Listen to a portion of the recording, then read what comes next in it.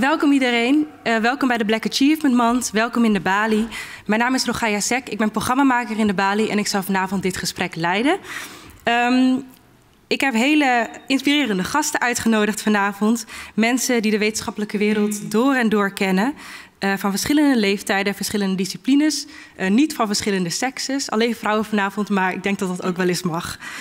Um, we gaan het hebben over kleur in de wetenschap. Uh, want de gemiddelde staf van de universiteit of de hogeschool is vaak het omgekeerde van mijn gasten hier vanavond. Uh, dat gaan we doen uh, door twee gesprekken te voeren. de eerste, ik zal jullie zo meteen nog wat duidelijker ehm, verwelkomen, um, zijn Aminata Cairo en Adjoa Edu. welkom. Zei ik het goed? Oké. Okay. Hoe heet je? Adjoa Edu. Adjoa Edu. Welkom hier in de Bali. Um, we zullen het met jullie vooral hebben over uh, diversiteit, inclusiviteit op de hogeschool en de universiteit. En ook op beleidsniveau en wat betreft het curriculum. Uh, daarna is er nog een gesprek wat we voeren met uh, Harriet Verwij, cardioloog, en Bahar Goudarsi. Um, Bahar, verloskundige onderzoeker en docent. En daar gaan we het meer focussen op Um, is er bij medisch onderzoek genoeg aandacht voor verschillende lichamen? En tussen die twee gesprekken worden we bijgepraat met uh, interessante uh, zwarte denkers die missen in het curriculum door een Grazen Jacco. Even alles achter. En voordat ik uh, dus in gesprek ga en jullie nog beter zou introduceren, wil ik graag het woord geven aan John Leerdam. Want het is nu het vijfde jaar dat de Black Achievement Month is. En uh, we hebben ook al vijf jaar een hele mooie samenwerking.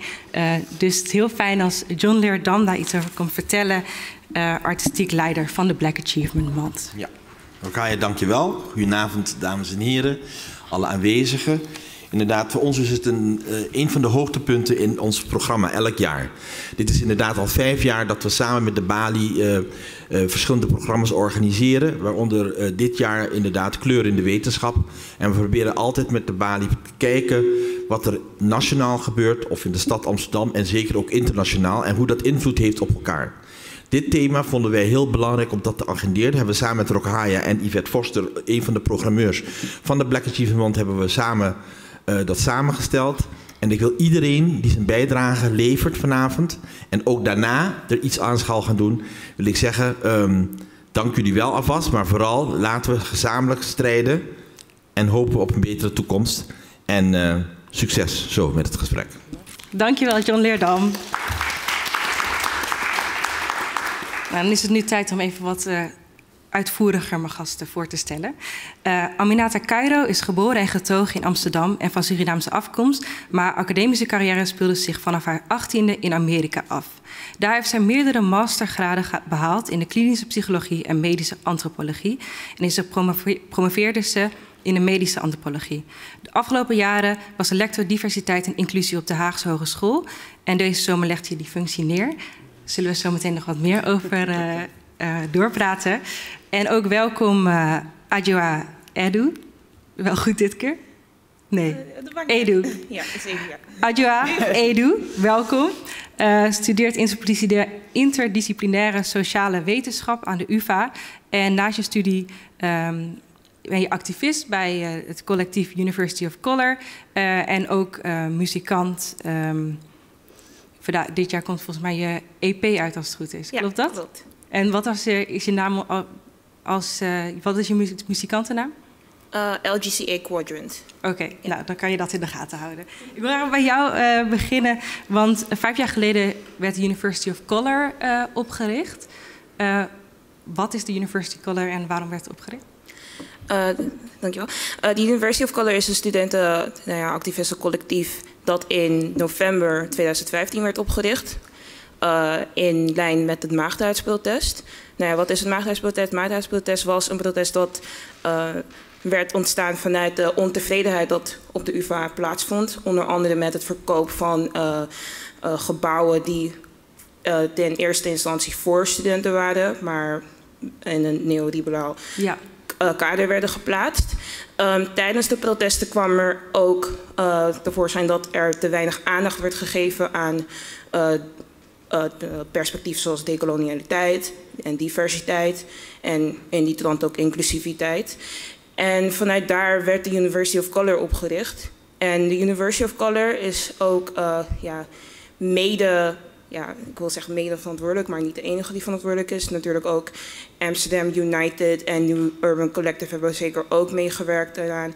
Uh, maar wij zijn mede verantwoordelijk voor het implementeren van een diversiteitscommissie, uh, opdat die in 2016 tot bepaalde bevindingen kon komen, zodat de UvA uh, meer divers, um, ja, een meer divers uh, beleid? Be, ja, onder andere beleid. Want maar wat vooral, was het toen vijf jaar geleden waardoor je dacht van het is echt super belangrijk dat University of Color wordt opgericht en dat er dingen gaan veranderen? Wat moest er veranderen?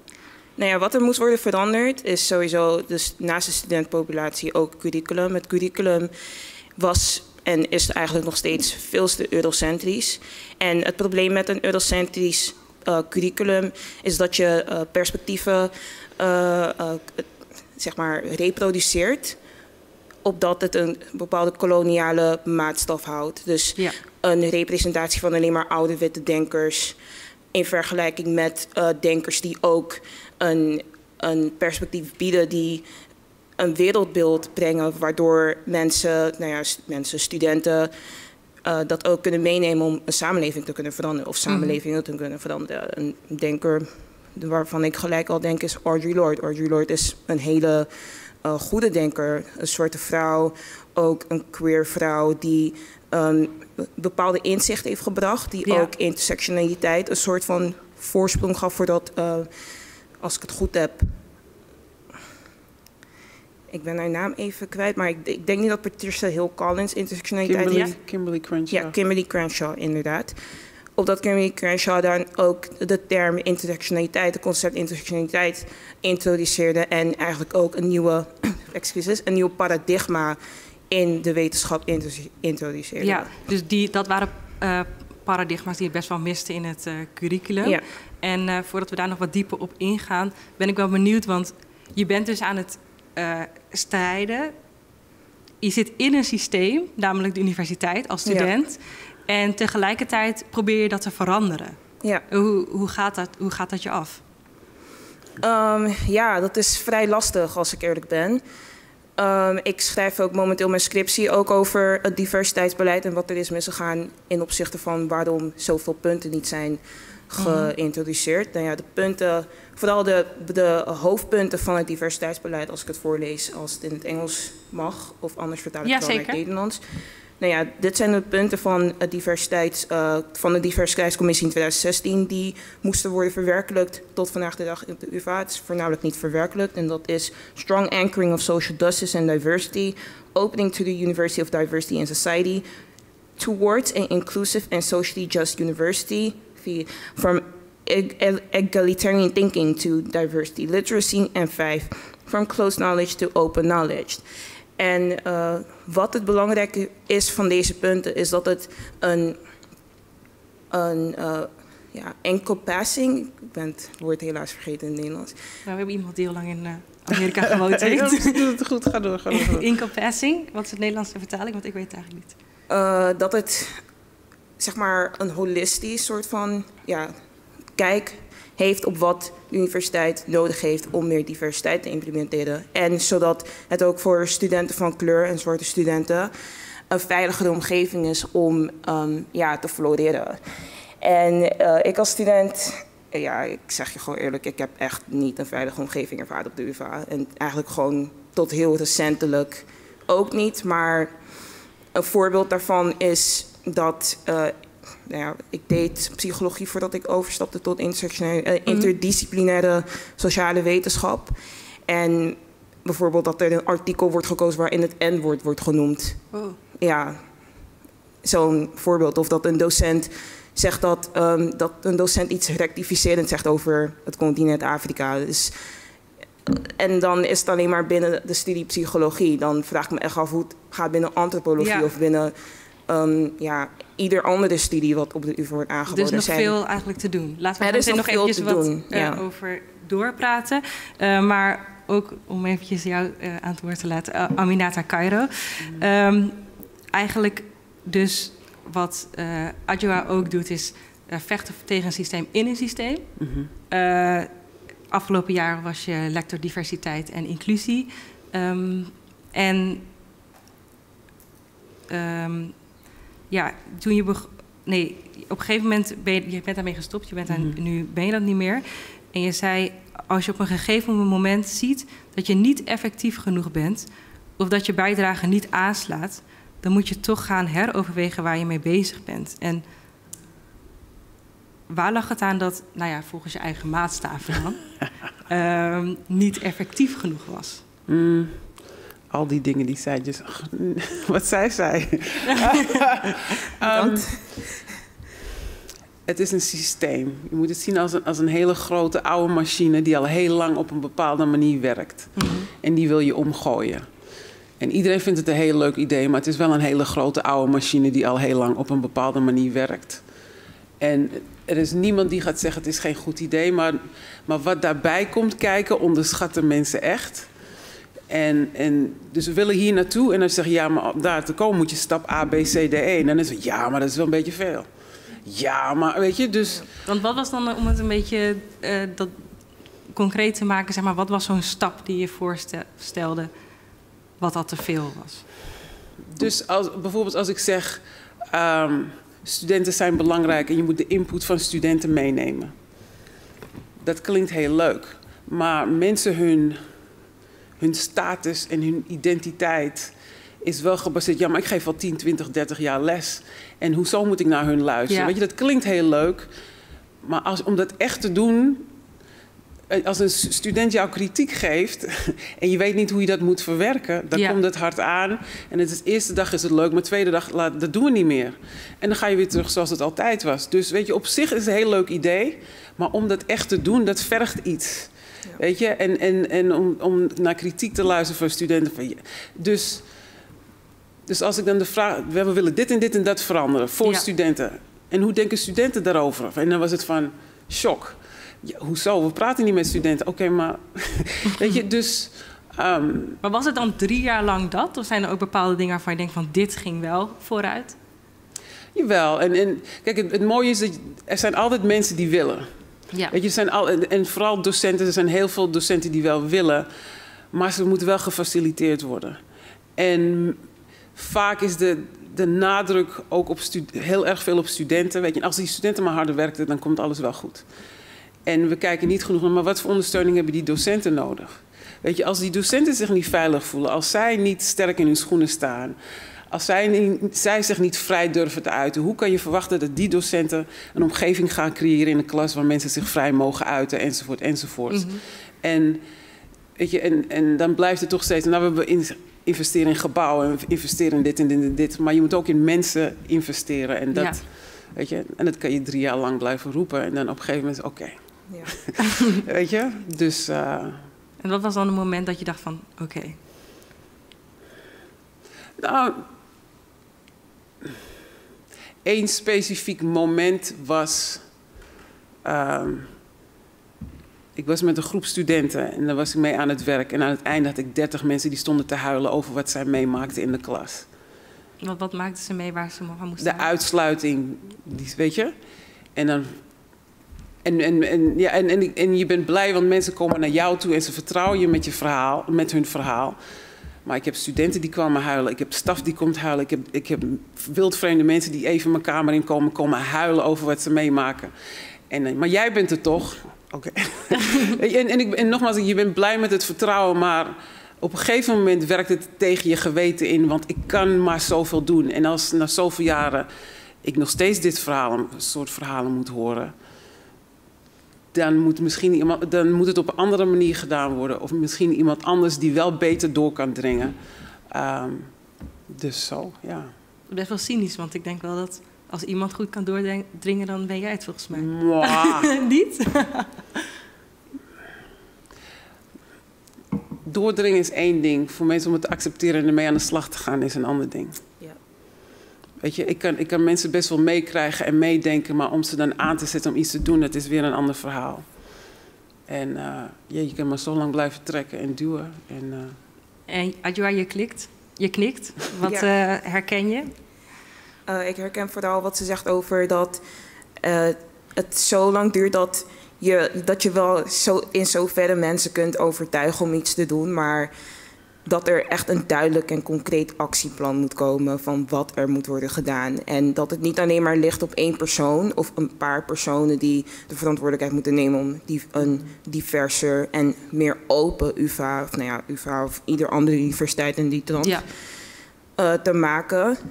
Eh, ja, daar vooral ben, Want daar laten we dan even inderdaad over een actieplan hebben. Ik denk, eh, je hebt diversiteit, je hebt inclusiviteit. Diversiteit, laten we die eventjes zeg maar om en om eh, afwerken. Want eh, misschien hebben we dan vanavond het opgelost. Nee, maar ehm, diversiteit, dat er gewoon veel verschillende mensen zijn, verschillende soorten mensen. Ehm, ik heb gezocht naar cijfers, maar het was niet heel makkelijk eigenlijk. Ik vond wel op het ministerie van eh, OCW ehm, in 2017, 2018 behaalden ongeveer 7000 studenten met een non-westerse migratieachtergrond hun masterdiploma op een totaal van 44.000 afgestudeerden. Eh, en toen ging ik dat uitrekenen, dat is dan 15 procent. Eh, dat is ongeveer evenveel als de Nederlanders met een ehm, eh, niet-westerse migratieachtergrond. Dus toen dacht ik van, oh, nou, dat gaat eigenlijk hartstikke goed. Ja, kijk, maar die, maar die cijfers. Cijfers helpen. Om dingen, met, met cijfers vertel je niet het hele verhaal. Ja. En helemaal, weet je, helemaal op een hogeschool. Ehm bijvoorbeeld op hogeschool zie je heel veel diversiteit onder de studenten. Je ziet niet al die studenten die al zijn uitgevallen. Weet je, studenten die eigenlijk naar de HAVO hadden gekund, maar die naar het V- VMBO zijn gestuurd. Ja. Dus, dus de studenten die we zien zijn degenen die heel veel die gestapeld hebben en die door hebben gezet. Maar heel veel mensen die eigenlijk ook dat traject hadden kunnen volgen, die een laag advies hebben gekregen, die zijn verdwenen, die sowieso niet binnenkomen. Dus, dus die zie je niet. En, weet je, en, en, en met die cijfers zie je wat, wat er is, maar niet noodzakelijk hoe de omgeving die er is. Weet Ja. je? En je ziet alleen, oké, wie eruit valt. Ehm, maar je ziet niet degene die het wel halen, wat ze hebben moeten doormaken om het wel te halen. Dus het gaat niet alleen om wie is er en wie haalt het, maar ook hoe haal je het en wat Ja. voor omgeving creëer je, zodat iedereen het beste eruit kan halen. Weet je, en En dan zijn we waarschijnlijk beland bij de inclusiviteit. Dat Juist. mensen die er eh, zijn, eh, worden begrepen en worden meegenomen. ik eh, even kijken waar ik dat heb. Want er was een quote toen je begon. Ehm, een hele mooie opmerking. Waar staat hij nu? Ehm, oh ja. Het is meer, toen je begon dus als lector Mhm. inclusie en diversiteit, eh, zei je het is meer dan die ene opdracht gericht op het studiesucces van minderheden. Het gaat om contact, om voelen, om de vraag hoe gaan wij met elkaar om? mhm. ja. Ehm, En heb je antwoord gekregen op die vraag? Ja, ik, ik bedoel, dat, dat was duidelijk. Want, want ik, ik, ik heb in principe mijn opdracht veranderd. Weet je, want de opdracht was: dit zijn de cijfers, dit zijn de mensen die uitvallen. Dus dat zijn de probleemgevallen. Dus we moeten iets doen aan die probleemgevallen. Dus als er zoveel mensen uitvallen, dan ligt het niet aan die student, dan ligt het aan je systeem. Ja. Als er één iemand uitvalt, als er tien mensen uitvallen, maar als 50, 60, 70, 80 procent van je mensen van die groep uitvallen. Dat En wat is dat dan, die groep? de, dus eh, migrantenachtergrond, jongens en, eh, van het MBO. Die hebben de hoogste uitvalcijfers. Eh, onder de Caribische studenten in sommige gevallen tot 80% of zo. Dus dat zegt iets over je systeem. Dat zegt niet iets over hun. ja, is veel te hoog. En wat Ja. zegt dat over het systeem? Dat iets niet werkt, dat iets niet klopt, dat iets niet aansluit. En, en, en nogmaals, en je ziet het in die hoge uitvalcijfers. Maar het, hoe, het, hoe ik er naar kijk, er zit iets scheef in je systeem dat ten koste gaat van iedereen. Het is duidelijk in degene, weet je, en bij sommige mensen is het heel duidelijk, want zij vallen uit. Maar dat betekent dat het ook scheef zit, ook voor andere mensen die, waar je niet, weet je, want het zegt iets over ongelijkheid. Het Ja. zegt iets over, eh, ja, het feit dat niet iedereen het beste eruit kan halen. Dus je kan niet alleen, weet je, en en, dus de insteek, oh, als zij maar beter zich voorbereiden, als zij maar, zij- het is, die nummers, die aantallen zijn te groot, dat Ja. het aan hun ligt. En wat zijn dingen, Adjoa, die je hebt meegemaakt in het systeem waarvan je dacht van dit klopt niet? heel erg veel. Ehm, maar een concreet voorbeeld wat ik kan benoemen, eigenlijk al in het eerste jaar wat mij gebeurde toen ik deelnam aan het hoger onderwijs, eh, was dat ik in een werkgroep zat en ja, nogmaals een docent. Ik weet niet, ik heb het gevoel dat bepaalde, dat sommige docenten hun vooroordelen projecteren op studenten die ze niet vaker zien, zoals ik bijvoorbeeld, een soort vrouw, maar ook op ja, niet alleen op mij, maar ook op mijn andere studenten die minder uh, te zien zijn binnen de universiteiten. Mm -hmm. Maar wat tegen mij werd gezegd, nou, op een subtiele manier, maar wel dat je weet dat het naar mij toe is gericht, was dat een docent letterlijk tegen mij zei dat ik op het VMBO hoor. En als je met zulke um, ja, docenten moet als je met zulke docenten te maken tijdens wanneer, hebt. Zei je op de uh, hoger onderwijs, zei je? Dus ja. was dat op de middelbare school of tijdens je Nee, nee tijdens mijn studie. Ja, ja. Heb ja. ik ook gehoord trouwens. Ja, ja. ja. en ik bedoel, als je zulke dingen structureel hoort... natuurlijk zijn er heel veel andere dingen ook gebeurd... maar als je zulke dingen hoort en je weet dat het naar jou toe wordt gericht, dan is dat ook ontmoedigend. Dat werkt ook ontmoedigend. Dan begin je aan jezelf te twijfelen, begin je aan de, je eigen capaciteiten te twijfelen. Ga je denken dat je niet slim genoeg bent. Maar oh, hoe zit het dan met die andere studenten die eigenlijk soms onderpresteren, maar die toch wel een extra push geven van de docent, ja. van de docenten. Dus dan, ja, dat doet wel wat met je. En toch doorgegaan ja, toch wel doorgegaan. Ook voornamelijk omdat uh, ik niet een superhoge lening aan Duo wil terugbetalen. dus dat is ook wel een hele grote motivatie. Maar anders had je de handdoek in de ring gegooid?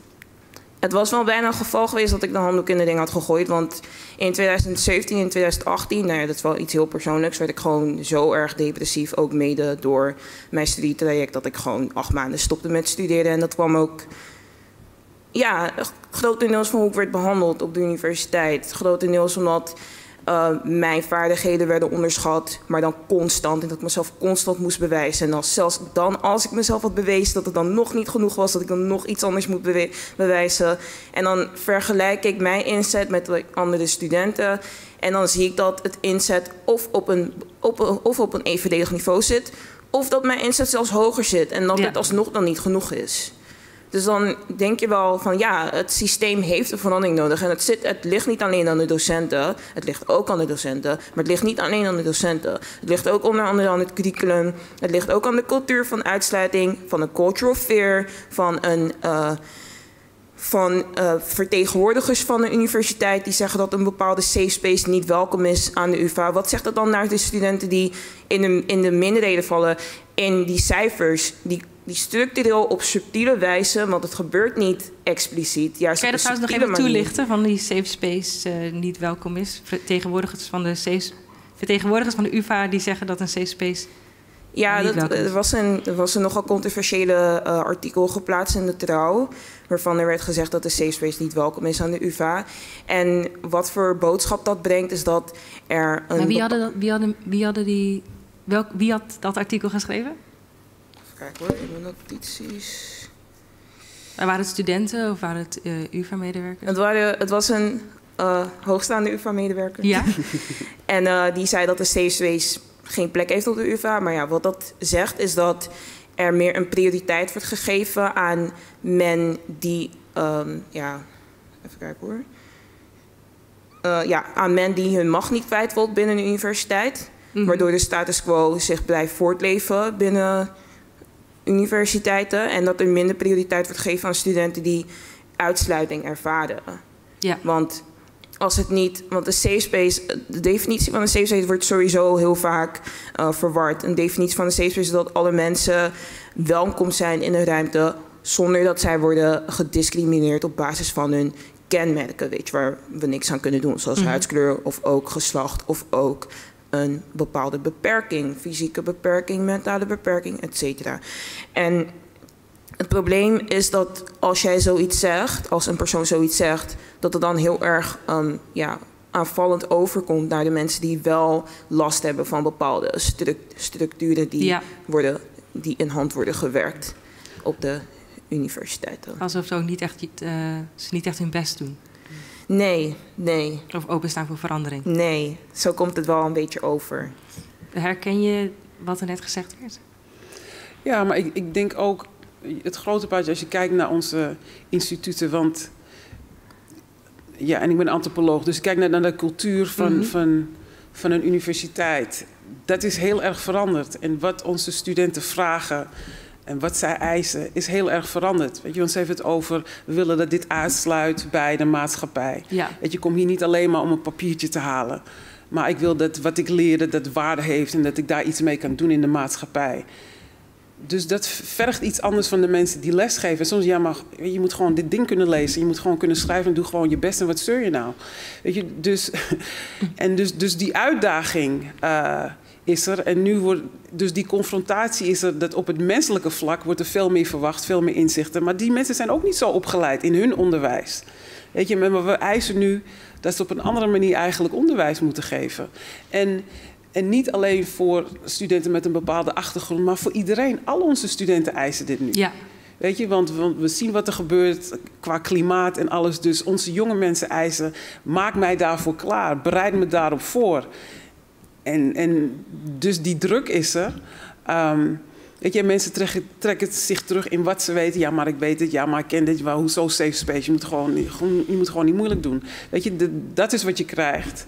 Um, waar je dus overheen moet komen. En, en nogmaals, dus, dus de cijfers helpen omdat die van, oh, we doen het wel erg slecht. Weet je, dat is wat die cijfers aangeven. Maar ze geven niet het hele verhaal aan dat er iets anders wordt verwacht. Ja. En um, ja, dus, dus ik. ik uh, ja. En die 80% waar je net over had, die uitstroomt, wat zijn nog meer zaken waardoor dat gebeurt? Waardoor dat gebeurt?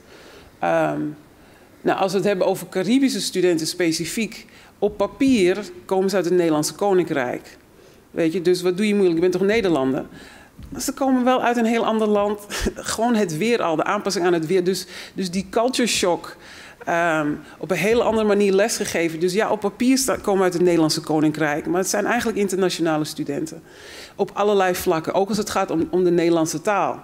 Weet je, voor iemand die, voor wie Nederlands een vierde taal is en niet de mm -hmm. eerste taal, of, of ik spreek alleen Nederlands op school op een bepaalde manier, is heel anders als, als dat je hier komt. Dus, dus mensen onderschatten die, die aanpassing ja. uh, die erbij komt kijken. En het is, nou jullie zijn toch Nederlands, dus waarom moet ik je helpen? Weet je, dus, um, dus, dus er zijn heel veel dingen die, die een rol daarin spelen. En dus je kunt heel slim zijn, maar al die andere factoren, als je daar niet in ondersteund wordt, dan val je uit. En, en, en, en, en ze verdwijnen echt. Van wat is er met die persoon gebeurd? Um, want ook om te vragen om hulp, dat is ook heel erg cultureel. Ja. Weet je, in Nederland waar studenten worden, weet je, een goede student doet zijn mond open. In een heleboel cultuur, alleen je praat alleen als de docent met je praat. En verder doe je je mond niet open. Dus, dus, nou ja, dus je bent niet gemotiveerd, want je doet je mond niet open. Nee, mm. ik heb geleerd, ik moet respectvol zijn en ik moet mijn mond dicht houden. Dat is ja. anders. Weet je, dus dus om mijn, om mijn docenten goed te laten weten, dat is basiskennis die je moet hebben als je nu andere studenten binnenkrijgt met een bepaalde achtergrond. En dat vergt extra werk. En dan heb je ook nog docenten die geen tijd krijgen om. Sommigen willen heel graag meer leren, maar mijn werklading is zo hoog en ik ben al dit en, ik, en dan moet ik dat ook nog erbij gaan leren. Ja. Dus als je het hebt over beleid, hoe ga je dat faciliteren? Hoe zet je die docenten in hun kracht? Zodat ze die studenten in hun kracht kunnen zetten. En dus dat betekent dat het systeem wat je hebt, dat je het soms radicaal om moet gooien. Ja. Weet je? Als je echt wil dat mensen beter, dan moet je ze de ruimte geven. Ja. Dan moet je ze tijd geven. Dan moet je ze laten bijscholen. En niet zeggen van, nou, doe, er, doe het er nog maar naast. Um, ja, en, en, en, en nogmaals, er zijn heel veel mensen die willen, maar dat zijn de dingen waar ze tegenop lopen. En nou ja, het is natuurlijk Black Achievement Month, dus misschien nog ook een beetje positiviteit. Um, wat, hebben we, wat heb je bereikt zeg maar, met de University of Color? Is ook iets bereikt? Uh, ja, er, is wel, er zijn wel dingen bereikt met de University of Color. Behalve, ja, natuurlijk het uh, 2016 uh, Diversity Commission. Dat was wel een hele grote um, tipping point. Goede, positieve tipping ja, point. Want je noemde net ook al de punten op. Ja. Maar daar zijn we volgens mij nog niet bij het eind van het antwoord op je uh, daarop gekomen zijn. Zijn die, welke punten zijn zeg maar gelukt van de... Ja, uh, als ik eerlijk ben, zijn er niet veel punten gelukt mm -hmm. van de vijf punten. Want dat zijn ook vijf main, dat zijn ook vijf hoofdpunten. En ze hebben ook een verdere um, vernauwing van die punten. En um, nou ja, binnen mijn studie, binnen mijn uh, tegenwoordige studie, internationale wetenschap, heb ik wel enigszins wel een verandering gemerkt van het curriculum. Maar dat is ook zelf niet helemaal goed toegepast. Op welke manier niet? Uh, op een manier waarvan er ook data verkeerd werd gezegd. Uh, bijvoorbeeld over een afschaffing van de slavernij. Dus ook op zulke standpunten. Um, en natuurlijk ook dat er heel veel, dat er enigszins kritiek is naar de Chief Diversity Officer. Mm -hmm. Wat is de kritiek? Nou ja, dat er niet een concreet actieplan is. En met een concreet actieplan waarvan er duidelijk wordt gezegd wat er moet gebeuren en met welke benodigdheden uh, dat gaat gebeuren. En dat is ja, vorig jaar, 2019, kwam er, kwam er uh, als het goed is, als ik het goed heb, een een soort van samenvatting van een actieplan, maar dat is nog steeds niet verwerkelijk. En ik zag toevallig vandaag op Instagram dat er ook een, um, ja, een, een, profiel was gestart van University Diversity Forum, waarvan er werd gezegd van where is the, where is the plan? En dat werd ook vooral geleid naar de uh, Chief Diversity Officer. Van waar is het plan? Er is tot vandaag de dag geen plan. En was ook in 2018 was het ook een verhitte discussie met de Chief Diversity Officer waarvan er heel veel werd beloofd en er vrijwel niks van is uitgekomen. Althans, in mijn studie heb ik wel gemerkt dat er wel een lichte verandering is van het curriculum, mm-hmm. maar echt gewoon concrete verandering als het gaat om, nou ja, onder andere het curriculum, maar vooral een open uh, ja, inzicht op wat, hoe de universiteit meedoet met koloniale structuren binnen een samenleving. Koloniale structuren, ja, onder andere curriculum, maar ook hun bijdrage eraan. Uh, ook samenwerking met multinationals. Dat, dat, dat wordt achterwege gehouden. En ja, ik, uh, tot zover kan ik daar wat over zeggen. Ja, laat me toevoegen. En, en ik, ik, kan me indenken, omdat je erin zit, heb je iets van... meisje, ik heb niks gezien. Maar, maar, um, het leeft wel. Dat je ook onder de docenten die er eerst niks mee te maken hebben en er niks van wilden weten, het leeft nu wel. Weet je, dus, dus soms, weet je, helemaal, je hebt, je hebt zo'n movement gehad, weet je, met, met het maagdenhuis. Van, ah, oké, we willen die verandering zien. Ja. En die verandering is misschien maar zo, maar het is er wel. Weet je, en, dan, en, en dan gebeuren er opeens andere dingen. Dan gebeurt Black Lives Matter en dan gebeurt dit en dan gebeurt... En, dus, en dat allemaal draagt bij, oké, dan is het zo. Ja. Weet je, want ik was vanmiddag bij opening van de UvA voor de Diversity Week. En, en verleden jaar hadden ze het niet en nu wel. Dus, dus het is er wel. Um, en al willen mensen, maar die vaardigheden zijn er ook gewoon nog niet. Weet je, het curriculum aanpassen is niet alleen van oké, stop meer van stop twee meer bronnen erin of zo. Dat, om een curriculum echt, dan moet je ook denken van. Maar die bronnen komen misschien heel ergens anders. Die moeten misschien heel, op een hele andere manier worden lesgegeven. Ik heb geen idee hoe dat moet. Wat wil ik bereiken? Dus om dat echt aan te pakken, dat vergt veel meer dan... oké, ik ga twee extra boeken toevoegen. Ja. Dus daar moeten mensen in worden meegenomen. Maar ze staan er wel voor open. En, en dus al die dingen die je noemt zijn heel erg structurele. Weet je net, dus het is één grote, langzame, trage, oude machine. Ja. maar de mensen zijn er wel die proberen hier en daar wat te doen. En het feit dat jullie nu zeggen van hé, hey, dat plan is er nog niet, ook dat is vooruitgang. Want ze komen er niet mee weg dat er geen plan is. Precies. Weet je? En dus zijn wel, en, en jij bent straks geslaagd, maar er is wel een volgende generatie die zegt: Hallo, hallo, hallo, ik zit nog steeds te wachten op het plan. Dus het feit dat dat er nu is, dat is ook al vooruitgang. Weet je, dus, dus die systemen zijn zich aan het ontwikkelen om die dingen recht te trekken, maar het duurt iets langer dan je had Ik heb wel één plan had ik gevonden in uh, mijn research, namelijk uh, nieuw nationaal actieplan voor diversiteit en inclusie. Mm ben, je, ben, je, daar bekend mee? Mm -hmm. Die is ja? net uh, er stond, ja, dit is 1 september en um, in het Nationaal Actieplan voor meer diversiteit en inclusie in wetenschappelijk onderwijs en onderzoek komt minister van Engelshoven van OCW met ambities en acties om in een inclusieve, diverse en veilige leer- en werkomgeving te creëren. En um, hier staat ook dat het Nederlandse Organisatie voor Wetenschappelijk Onderzoek uh, stelt 2,5 miljoen euro beschikbaar voor een impulsprogramma gericht op Nederlandse onderzoekers uh, met een niet-westerse achtergrond en uh, vluchtelingen. Mm -hmm. Stemt dat je positief? Het is een begin. ja. Het is een begin. Weet je, het is iets. Goed. En weet je, het moment dat mensen het op papier zetten, dan kan je ze ook aansprakelijk houden. Ja. Weet je, of ze het gaan uitvoeren en hoe goed en alles, maar je hebt het wel gezegd dat je het gaat doen, dus oké. Weet je, en dat is ook wat, wat, zij doen. Dus het feit dat het er is en of het perfect in elkaar zit, eh, kan het bij het geschapt? Tuurlijk kan het beter.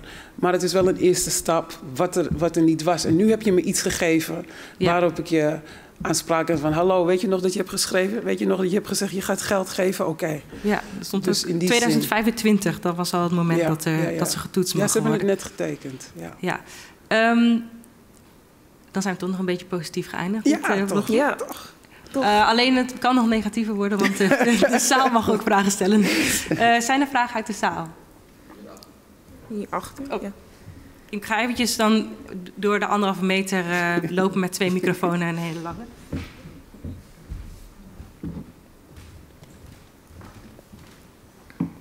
Hi, goedenavond. Oh, allereerst bedankt. Eh, ik ben Shaneska Seder, 21 jaar en derdejaars student eh, antropologie aan de UvA. En ik heb een vraag voor mevrouw Cairo. Mhm.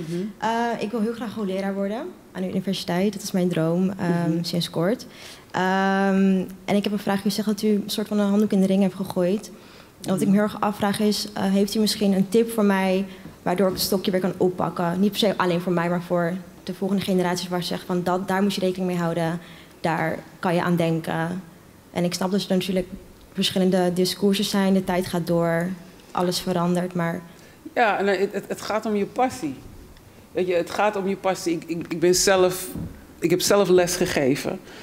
Ehm, en, en mijn doel is altijd om de studenten te helpen. En op een gegeven moment, een van de redenen, ik, ik had iets van, ik kan ze meer helpen door het op een andere manier te doen. Maar mijn doel is nog altijd om die studenten te helpen.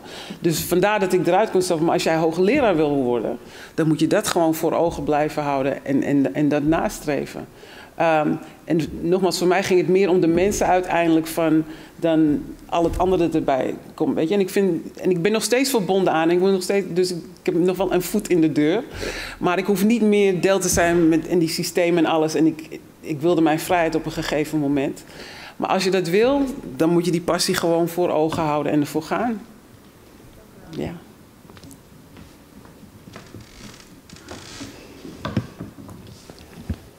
Goedenavond, ik ben eh, Tarim. Ik ben student rechten aan de UvA.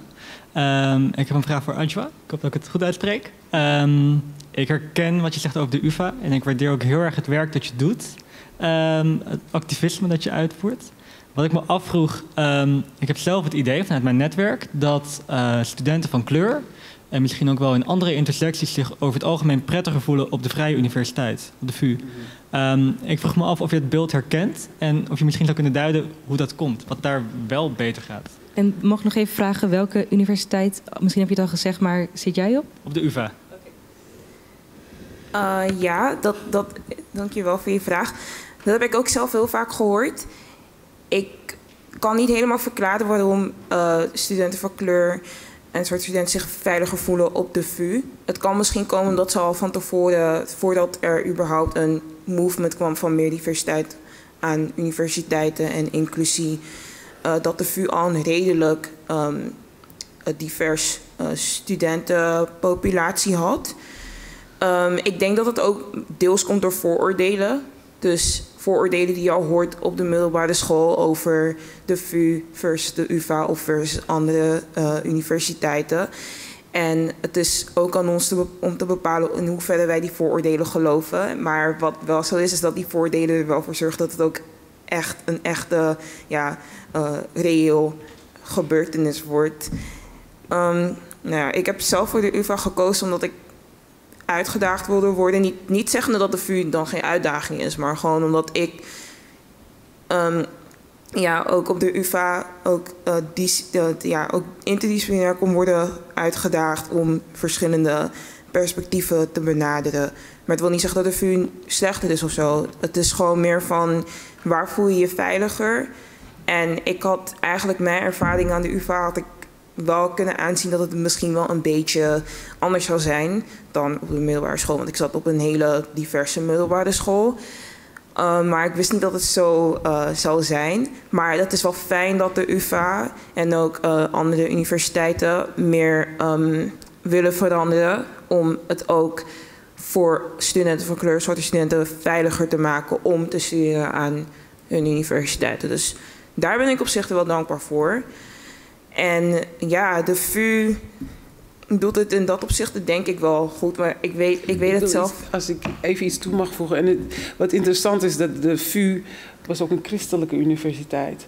Dus het is interessant.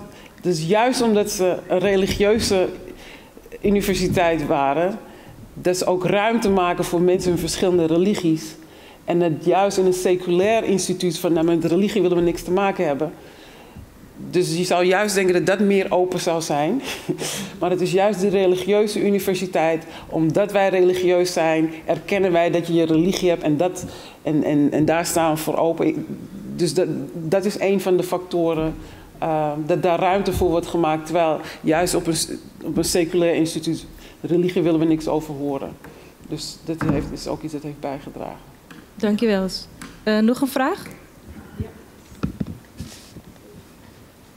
Dank jullie wel. Uh, mijn naam is Svenna Visser en ik ben student klassieke talen en filosofie ook aan de UvA.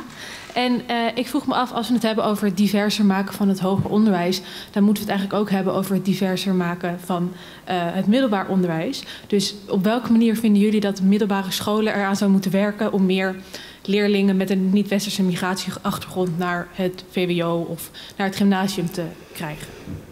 Hmm. Dat is een hele goeie. um, als moeder zijnde. um, ik heb mijn zoon teruggestuurd naar de Verenigde Staten. Omdat hij een heel laag advies kreeg en hij zei: Maar ik, ver, ik verveel me hier. En nu zit hij op high school aan de honor roll. En, en, en, en dus, dus ik heb persoonlijk meegemaakt waar er wordt gekeken en van, nou ja, we sturen jou maar daar naartoe. Weet je? Um, en, en ik zit in het systeem en ik kan nog best wel goed als een advocate voor mijn kind. En dan nog kwamen we maar zo ver en het was te frustrerend. En oké, okay, dus ik heb, ik heb hem teruggestuurd. Um, omdat ik, ja, ik, ik, ik, ik kon me dat veroorloven, vele mensen kunnen dat niet. Maar dat gevecht om je kind op de juiste... Het is niet dat onze kinderen niet slim genoeg zijn. Maar er zijn zoveel structuren die dat tegenhouden. Er zijn zoveel kinderen die te horen krijgen... ja, voor de zekerheid sturen we je maar daar naartoe... terwijl ze wel de cijfers halen. Ja. Um, en helemaal op, op, op het HBO, ik weet niet hoeveel studenten ik ben tegengekomen. Ja, ik verveelde me dood, ik had eigenlijk hoger gekund. En we hebben ook de cijfers om aan te tonen dat jonge mensen te snel naar een te laag niveau worden gestuurd. En, en weet je, er zijn stadmensen voor wie VMBO en, en alles wel, wel de juiste plek is. Maar er zijn ook heel veel die zich vervelen voor wie het te laag is. Um, en is dat dan ook iets specifiek Nederlands, zoals uh, in, in Amerika wel lukt? Nou ja, in Amerika heb je een high school systeem, dus iedereen gaat naar de high school. En dus binnen die high school, als je het heel goed doet, dan neem je honors classes. En zo niet, dan neem je de gewone klas. Dus je zit allemaal op dezelfde plek. En, um, dus wat dat betreft is het wel, wel gemakkelijker. Um, maar hier, het feit dat je wat, op je tiende jaar al moet beginnen te denken waar je, waar je eigenlijk naartoe is, is zo. Ja. Weet je? Dus het hele systeem dat je toetsen moet doen op je tiende, elfde, twaalfde jaar, alsof je weet wat je als volwassene gaat doen. Um, dus die ruimte is er niet. Um, en, ik, en ik weet dus, nogmaals, en ik weet er zijn scholen die dat proberen anders aan te pakken. Maar je fungeert wel in een groter systeem met beleid dat, uh, dat het weer heel beperkt houdt. Als je het ja, dus eigenlijk in die zin is die 15% misschien waarschijnlijk veel lager als zoveel mensen te horen krijgen van uh, je kan misschien net VMBO doen als je je best doet. Ja. Ja, ja, Terwijl die dan toch een VWO kunnen halen om even ook antwoord te geven op haar vraag. Uh, ik ben ook zelf een basisschoolleerling geweest die ook een uh, advies kreeg die niet paste bij mijn capaciteiten. Maar uh, ook middels dus een CITO-stoets had ik wel kunnen bewe bewijzen dat het wel beter was om mij in een HAVO-VWO-klas te zetten. Dus ik denk dat het probleem eerder begint op de basisschool. Ja. Maar de middelbare school speelt ook natuurlijk een belangrijke rol. Want op een middelbare school word je natuurlijk voorgestoomd voor het hoger onderwijs, HBO, WO, MBO en praktijkonderwijs ook. En het is meer de ding van in hoeverre krijgen leerlingen dan de kans om echt hun alleruit, nee niet hun alleruit, maar gewoon hun capaciteiten te kunnen ontwikkelen, zodat het past bij de vervolgopleiding waar zij horen te zitten. En uh, ja, ik, ik weet niet, ik weet niet precies de statistische cijfers. Maar het gaat vrij vaak mis bij uh, studenten van kleur. Nou ja, studenten met een. Nou ja, leerlingen met een non-westerse achtergrond. En ik denk ook wel dat het te maken heeft met vooroordelen. Ik, nogmaals, vooroordelen, hoe er wordt gekeken naar een leerling, wat er gebeurt. Want als ik kijk naar mijn eigen middelbare schoolervaring, dat was ook echt heel erg. Uh, ja, ik weet niet. Gewoon ik werd heel vaak gestraft voor een of andere manier. En dat, dat, dat werkt ook, weet je, want hoe behandel je leerlingen? Het, het, gaat, het gaat ook echt van niet alleen met de docentdynamiek, maar gewoon van hoe zorg je ervoor dat leerlingen gewoon in een ruimte hun uh, uh, talenten en vaardigheden kunnen ontwikkelen zonder dat zij daarin worden belemmerd waar zij niet veel aan kunnen doen. Weet je, ja, dat... En, ja, en, en, we weten nu ook bijvoorbeeld als het gaat om, om die toets, toetsen. Die, die, die CITO-toets testen niet je capaciteit, maar vaak is het nu ook een test van hoeveel bijles heb je gehad. Weet je, het, is meer, gaat meer. Weet je, hoeveel resources heb je om je klaar te maken als het gaat eh, om, om die test te tekenen, in plaats dat het echt meet. Weet je?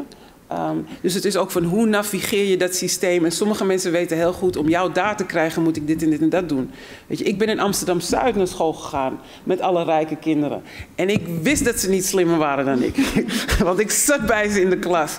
Maar ik zag ook, als die het niet goed deed, er waren wel zo drie en vier, vijf, zes bijlessen. Want die ouders zullen en moeten dat kind er doorheen trekken. Weet je, er wordt meteen geld in geïnvesteerd, want wij zorgen wel dat je er komt. Weet je, met die kinderen heb ik ook uh, op school gezeten. Dus de school is zoveel meer dan wat je alleen in die klas doet, maar ook onze cultuur eromheen. Wat is acceptabel? Um, weet je, en hoe spreek je voor je kind en al dat, en al dat ja. soort dingen. Ja. ja, heel erg bedankt Aminata Cairo, heel erg bedankt Ajoa Edu. Yes. Bedankt. Het verhaal en ook voor jullie uh, mooie werk. Um, ja. Dan gaan we nu uh, luisteren om ons toch nog een beetje extra het curriculum, uh, interessante zwarte denkers die missen in het curriculum, uh, toch nog daarmee met die informatie naar huis te gaan, heb ik Grace Giaco uitgenodigd. En die gaat ons eventjes bijspijkeren. Oh, hoe werkt de, dingen? Oh ja. Goedenavond, um, ik ben Krasen Jaco. Ik um, uh, geef les aan de UvA, niet-westerse filosofie. Um, ik zal het vandaag hebben over diversiteit in het curriculum. Ik wil allereerst beginnen met uh, een gedicht van een van mijn favoriete dichters en schrijvers. Uh, Langston Hughes was een Afro-Amerikaanse schrijver en dichter die deel uitmaakte van de Harlem Renaissance. Is een Afro-Amerikaanse culturele beweging uit de jaren 20 van de 20e eeuw. Dus heet History. The past has been a mint of blood and sorrow. That must not be true of tomorrow diversiteit in het curriculum is een onderwerp waar we nu al een paar jaar bij stilstaan. In Nederland en ook in het buitenland.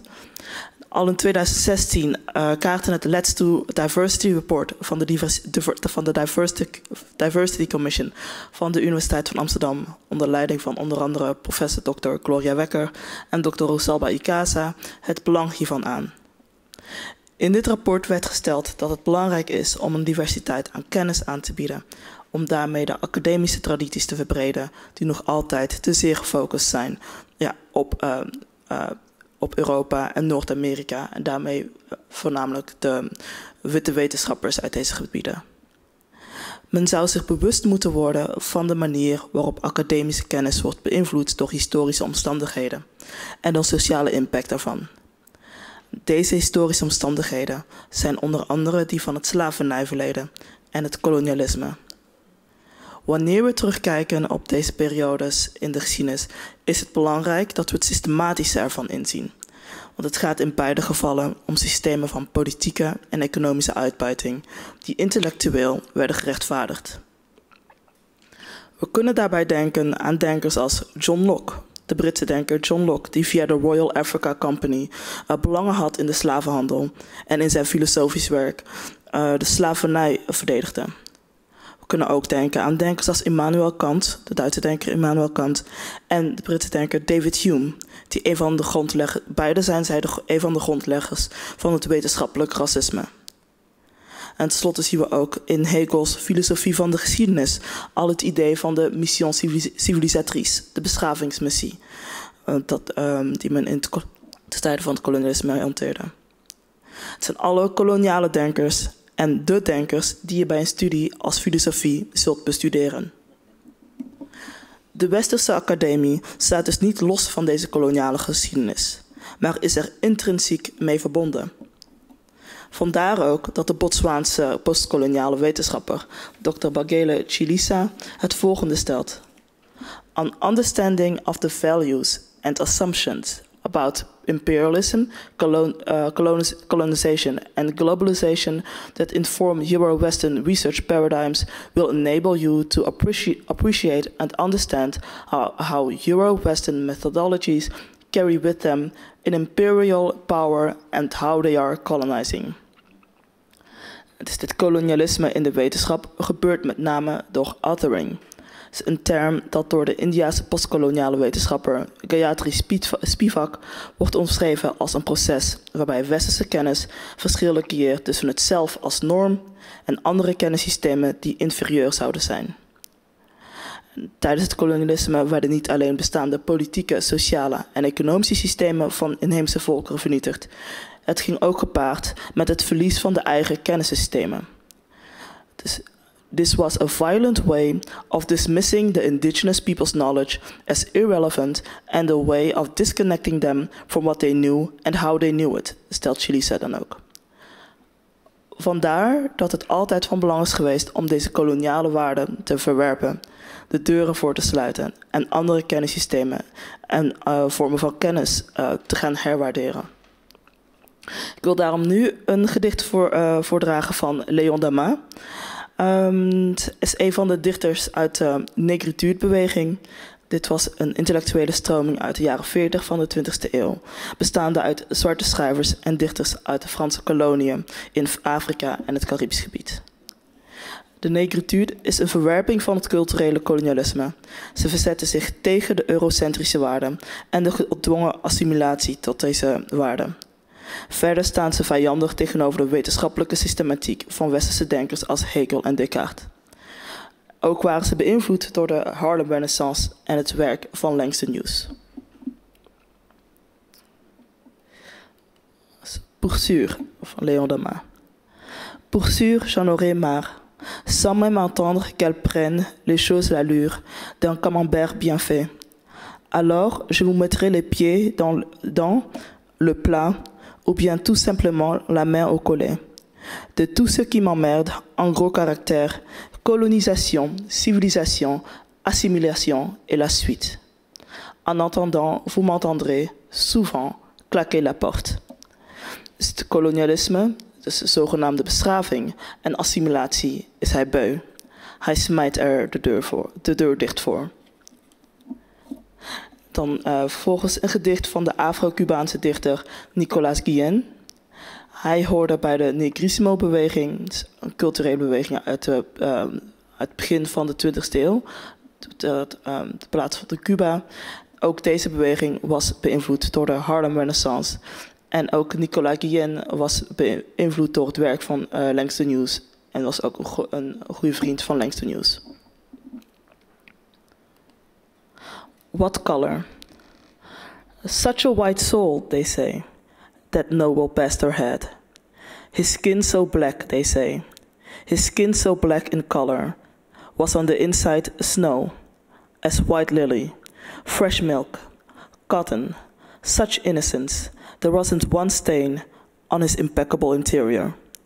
In short, a handsome find, the black whose soul was white, that curiosity. Still, it might be said another way. What a, what a powerful black soul that Gentles of pastors had.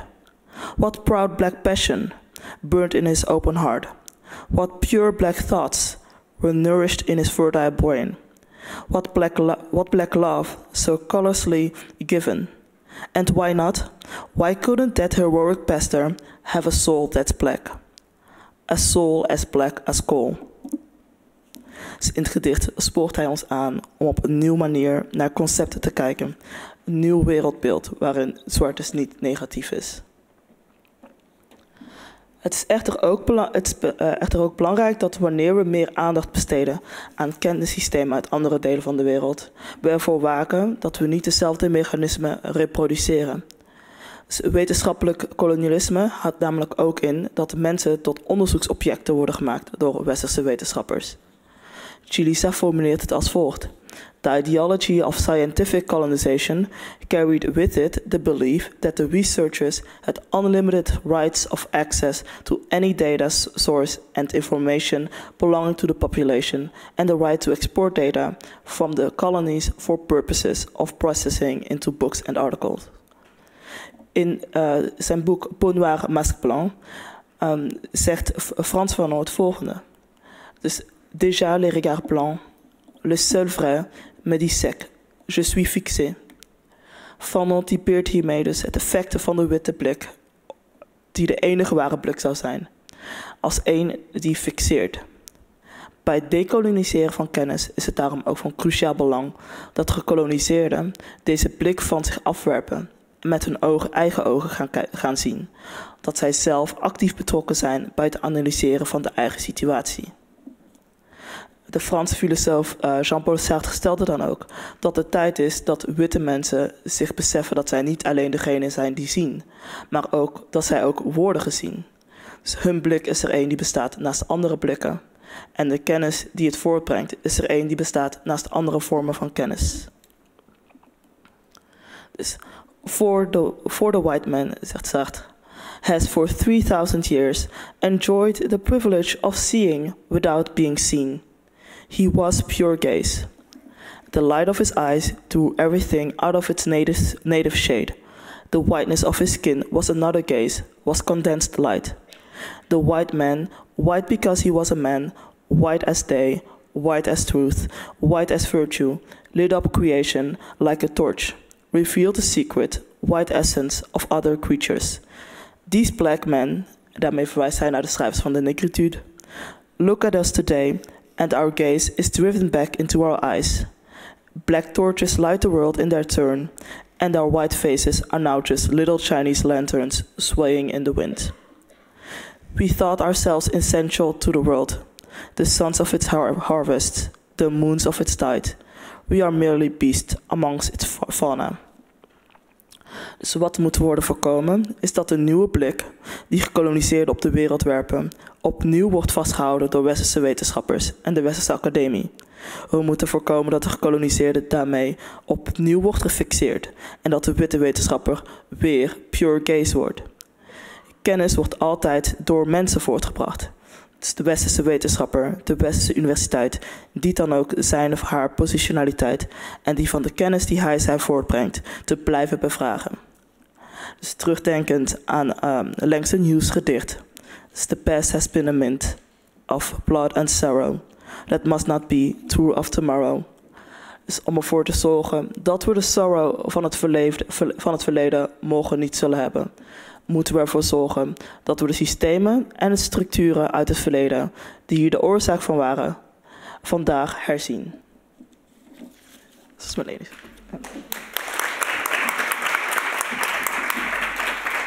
Dankjewel. Dankjewel, Kraas. Um, in het najaar verschijnt uh, ook je bijdrage in de, in de bundel Afrolit Moderne Literatuur uit de Afrikaanse Diaspora. Uh, samengesteld door uh, Dalila Hermans en ABC Rauw. Heel erg bedankt. En dan wil ik graag nu uh, verwelkomen um, Bahar Goudarsi en Harriet Verwij, alstublieft.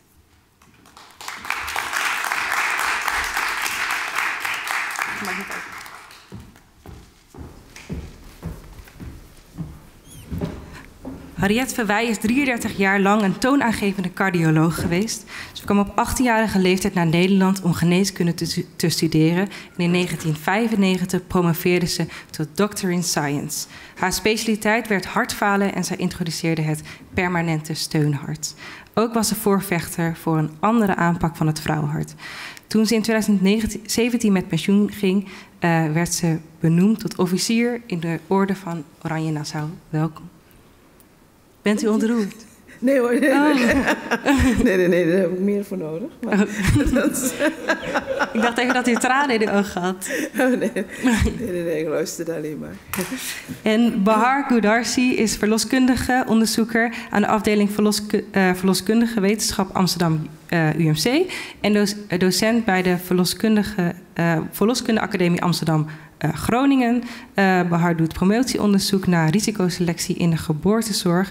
ze wil diversiteit, inclusiviteit en antidiscriminatie in de geboortezorg op de kaart zetten. En heeft meegewerkt aan het ontwikkelen van een training voor promovendi over intersectionele onderzoeksmethoden.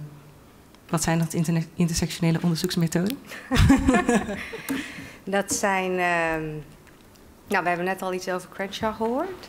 Dat zijn methoden waarmee je onderzoek kunt doen. En in dat onderzoek kijk je naar hoe verschillende assen van uh, uitsluiting en marginalisering en achterstelling uh, bijdragen aan bepaalde onderzoeksuitkomsten. Dus bijvoorbeeld gezondheidsuitkomsten als je dat onderzoek doet in de gezondheidszorg. Oké. En ik voel me ook af, uh, mevrouw... Moet ik een voorbeeld geven? Geef maar, ja, omdat je zo zegt, oké. Okay. Ja, een voorbeeld mag ook. Ja. Als je voorbeeld hebt.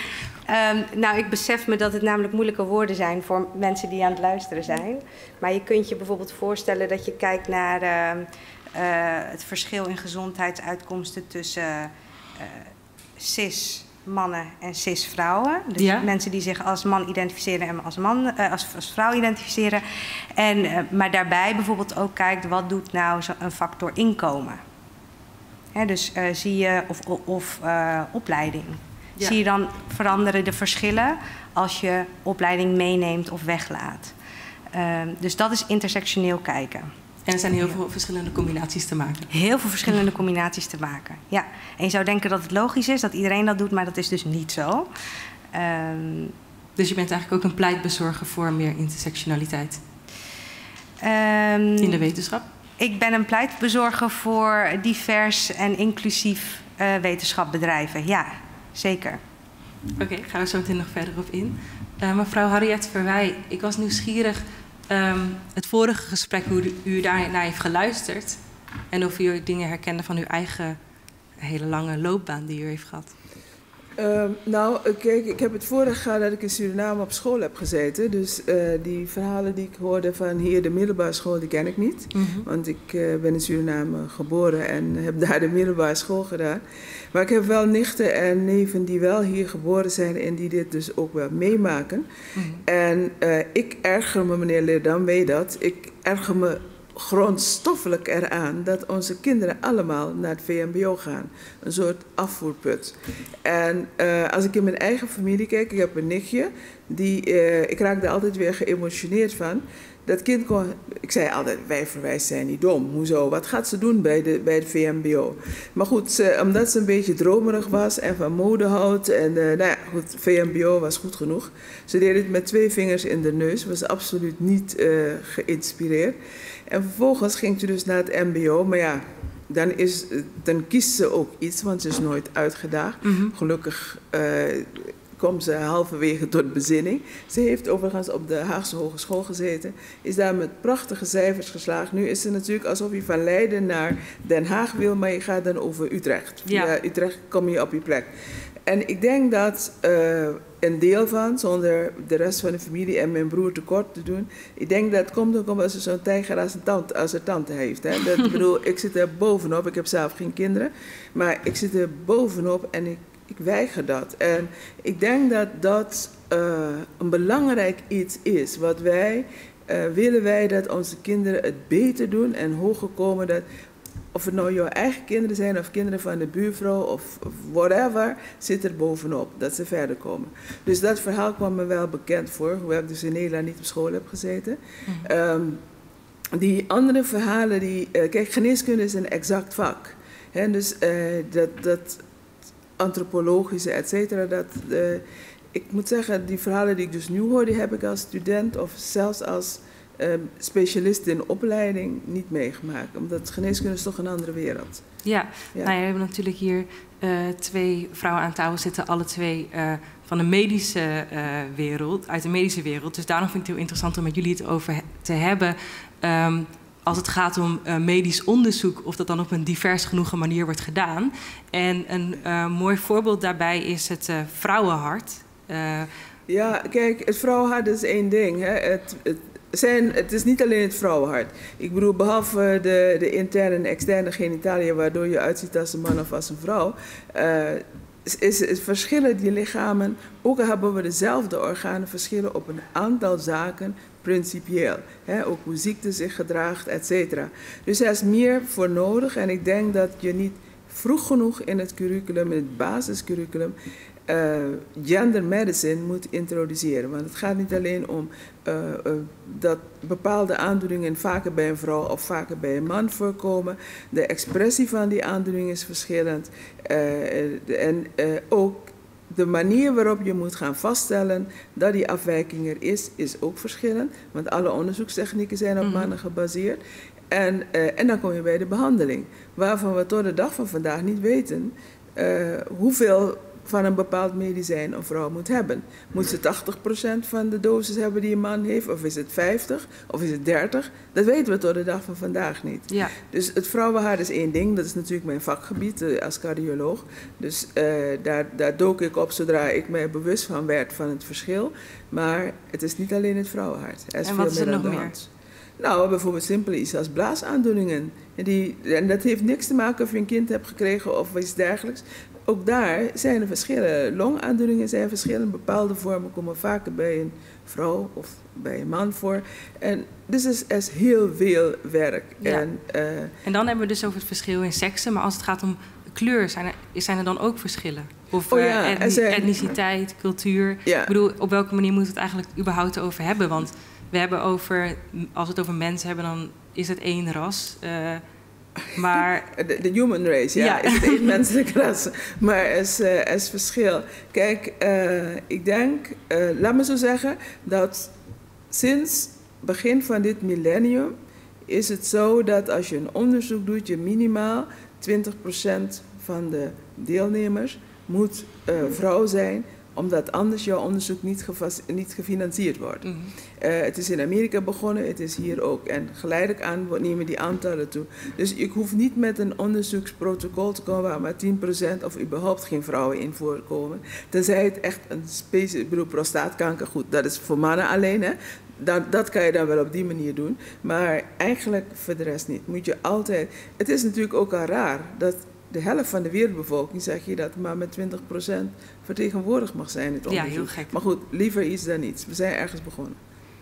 Ja, maar en als het gaat om... Ja? ja? nou, ik wou zeggen, maar qua kleur zie je dat nog veel minder. Hè? Want je ziet in het vrouwenhart inderdaad, maar ook in veel andere onderzoeksgebieden...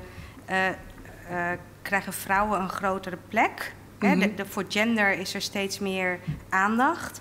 Maar dat onderzoek gaat over het witte vrouwenhart. Ja. dus kleur ontbreekt uh, enorm. En ehm, jij, jij, jij, vroeg mij net, ben jij voor uh, intersectioneel wetenschap? En toen zei ik, ja, ik ben voor inclusief en divers wetenschap. En toen hoorde ik mezelf de vraag stellen, die stelde jij niet, maar waarom eigenlijk? Wat, wat, kijk, Um, wat belangrijk is om te begrijpen, is dat inclusief en divers wetenschap is wetenschap voor iedereen. Uh, dat gaat over iedereen. Mm -hmm. En uh, de wetenschap zoals we die nu bedrijven, uh, dus door witte mensen, voor witte mensen, vanuit een eurocentrisch perspectief, is dus voor witte mensen. Ja. En onze samenleving bestaat uit veel meer dan witte mensen, maar die hebben geen baat bij dat onderzoek. Terwijl wel uh, vanuit ook hun belastinggeld dat onderzoek wordt betaald. Dus um, um, dat is ontzettend belangrijk om je dat te beseffen. En ook de effecten daarvan. Want dat betekent dus dat een deel van onze samenleving niet de zorg krijgt. Dus ik praat nu even vanuit de uh, zorgkant. Ja. Uh, die uh, gepast is. Dus of de zorg schiet tekort of het is te veel. En dat is een beetje het spijtige ervan, omdat we in de zorg eigenlijk voor iedereen goed willen de, zorgen. De, de punten waarop de zorg tekort schiet? Want het is, uh, ik vind het ergens best een spannend onderwerp. Ook bijvoorbeeld, uh, Kraas net in haar lezing had het ook al over uh, mensen als onderzoekobjecten. Dat is natuurlijk ook best wel een, een koloniale geschiedenis, heeft het. waarin mensen, zwarte mensen of uh, mensen van overzeese gebieden, die werden lange tijd ook bestudeerd met het idee van de, laten we gaan onderzoeken en laten we gaan kijken hoe de witte uh, mens superieur is. Uh, waardoor er nog steeds heel veel nadigheid aan kleeft. Maar als ik jou zou horen, is het eigenlijk toch heel belangrijk dat er wel ook onderzoek wordt gedaan, specifiek bijvoorbeeld naar mensen van zwarte mensen of mensen van verschillende achtergronden. Nou, wat je, wat je graag wil, wat ik graag zou zien, is dat. Ehm, uh, onze bevolking of onze, de mensen in Nederland uh, in het onderzoek wat, wat in Nederland wordt gedaan zijn vertegenwoordigd. Mm -hmm. En dat je niet onderzoek doet naar witte mensen en naar mensen met een Iraanse achtergrond en een Caribische achtergrond. Ja. En, een, en uh, waarom moet je dat niet doen? Omdat um, etniciteit of ja, etniciteit een slechte gezondheidsvoorspeller is. Want binnen die groepen bestaat er veel meer diversiteit dan tussen die groepen. Dus etniciteit gebruiken om te zeggen bepaalde risico's of gezondheid komt bij een bepaalde groep meer voor. Um, dat doen we nu veel, maar um, dat is een hele slechte voorspeller. Um, en hoe zou het wel moeten? Hoe zou het wel moeten? Ik denk dat wat je moet kijken is, je moet dus een, een, een populatie nemen die heel divers is. Um, en dan kijken, als je op zoek bent naar een bepaalde uitkomst, bij welke mensen komt die uitkomst voor en welke kenmerken hebben die mensen. Dus de vraag andersom stellen, in plaats van al met een bepaald idee uh, erin stappen. Bent u daarmee nou, Nou, ik, ik ben meer een, een pragmaticus en ik vind je moet naar de basis gaan. Als ik, uh, ik, ik spreek wel eens uh, in bejaardenhuizen voor oude Surinamers, of via de kerk is dat dan meestal. En dan, dan zitten ze daar en dan hebben ze hoge bloeddruk. zeg, ben je naar je huis gaan? Ja, maar ik kan toch die man niet lastigvallen. Dat is cultureel wel. Maar wat ik wil zeggen, wanneer ze wel gaan, dan hebben ze wel al die hersenbloeding.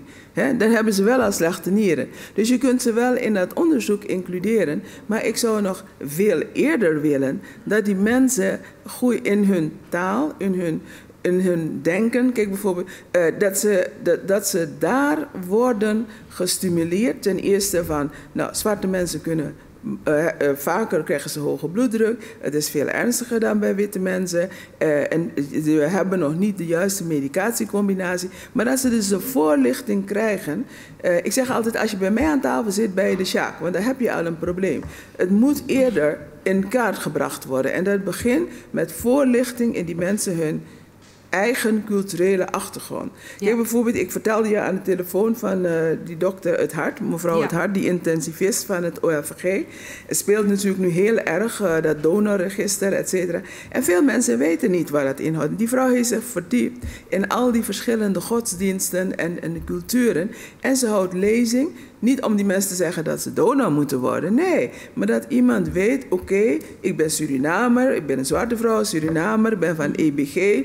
Of ik ben een, een, een moslima. Eh, wat zegt de Koran? Wat zegt de Bijbel? Wat zegt die? Dat mensen wel overwogen een besluit kunnen nemen. Of het nou ja is of nee, of whatever. Dus je moet mensen, en ik ben dus veel meer voorstander om eerder in het traject te kijken dan onderzoek te gaan richten op populaties die een ziekte hebben. Want het is al in een veel ernstige, als ik bij mijn eigen vakgebied blijf, is het al in een veel ernstige vorm. Bij de Hindustan, bij de Creool, bij de Chinees. Is dat, want ze komen cultuurgebonden te laat. Want ze vinden dat ze ons niet moeten lastigvallen. Terwijl ze ziektekostenpremie betalen. Het is hun recht. Ja. Het is hun recht. Maar die mensen weten dat niet. Dus ik zomaar onderzoek te doen, kijken hoe zo'n ziekte. Onderzoek is altijd goed. Ik ben een academicus, ben academisch opgeleid en heb academisch gewerkt. Maar er zijn veel meer stappen daarvoor ja, te doen. Dus dat is zeg maar... Wil je tot een goed besluit komen. Anders weet je niet waar je naar kijkt. Vergelijk je nog steeds, ondanks je naar etniciteit kijkt, vergelijk je nog steeds verschillende dingen. Omdat ze in een verschillend stadium van het ziekteproces gekomen zijn. Ja, dus dat is eigenlijk een cultureel, uh, culturele insteek. Onder uh, andere. Onder andere. Ja, maar ook ja. genetisch, hè? Ik bedoel, uh, dat is gewoon zo. Sommige ziektes komen vaker bij zwarte mensen voor dan ze bij witte mensen voorkomen. Ja, maar ook een insteek vanuit preventie. Ja. Hè? Dus um, niet gaan onderzoeken binnen een groep die die aandoening al heeft. Dus in de geboortezorg bijvoorbeeld vindt veel onderzoek plaats onder mensen die al zwanger zijn. Ja. Uh, maar wat je wil is um, ze eigenlijk al daarvoor. Um, en wat er op dit moment gebeurt is, ehm, die onderzoeken worden gedaan en er worden dan risico's vastgesteld. En dan wordt er gedacht, oké, hoe kunnen we die risico's verminderen? Nou, dan zetten we in op interventies. Wat moeten wij als verloskundigen, als artsen beter doen om die gezondheid te bevorderen? Maar wat je dan over het hoofd ziet, is de invloed van structurele, systematische uh, factoren in onze samenleving die gezondheid bevorderen of uh, benadelen. Ja. En daarmee duid ik op bijvoorbeeld discriminatie, armoede, scholing, et cetera. Maar uh, dat perspectief mist.